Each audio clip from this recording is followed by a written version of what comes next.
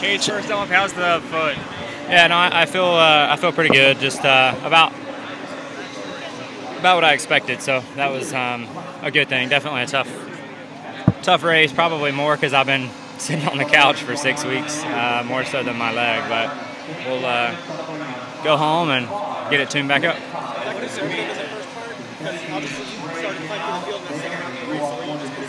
No, no, we were just that bad.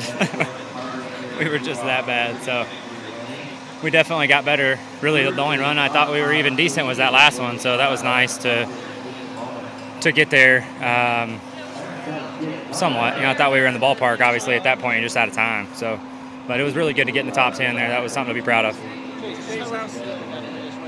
Yeah, I feel fine. You know, I'm, I'm certainly uh, tired. You know, just because I've been sitting on the couch, like I said. But other than that, my you know my legs stiff, my knees stiff, but I don't hurt or anything like that. So I'm about where I thought I'd be.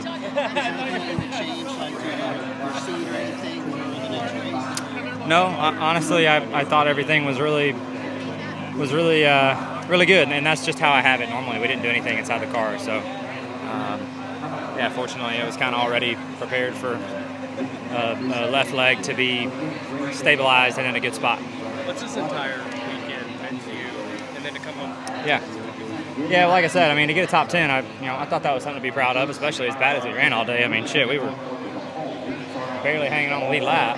Um, probably deserved to go a lap down there for a long time, so I was proud of that. You know, good good fight and uh, way to finish finish strong. You know, it's always a good thing. Chase, do you feel like the day went you got everything that you had hoped for? Uh, I, I, think I could have performed better, honestly. Um, I don't think my leg was stopping me from performing better. Once we got our car to a decent place, we were just out of time, and uh, so. But all in all, top ten, nothing to be too upset about. How did it feel to be back in the car Yeah, no, I felt really good, and I appreciate all the people, from the fans to the other teams, other drivers. You know, I feel like everybody was really uh, warm and, and their welcome um, and they're welcoming me back, and, and I, that didn't go unnoticed. So I appreciate that, and um, now we can just go back to work and hopefully get back to normal. Did you feel good overnight, or did you have to do anything overnight that you didn't expect to have? No, I uh, nothing I didn't expect. We worked on it last night, you know, and just try to keep my range of motion up and uh, not get too stiff, you know, too tight before the race. So that was all planned. It wasn't anything that I had to do because I felt a certain way yesterday. Yeah, yeah, just just super stiff. But fortunately, my knee's in a pretty nice position um, in the car. You know, with, with, a little bend in it, it's not like you have to have it super straight. So that was good. What were Bubba and Ryan saying afterwards? Uh, we were just talking about the day. Nothing in particular. Just just shooting it. Just, I guess, what's the feeling of? Do you feel any sort of sense of accomplishment to come back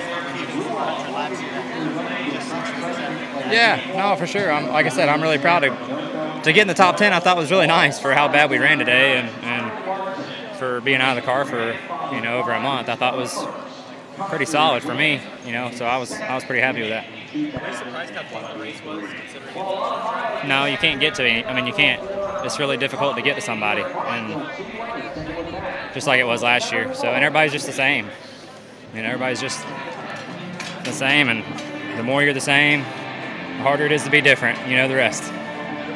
This is Harrison Burton, driver the number 21. Make sure to hit that subscribe button. Also, check out one of these two videos beside me. Visit frontstretch.com for more racing content.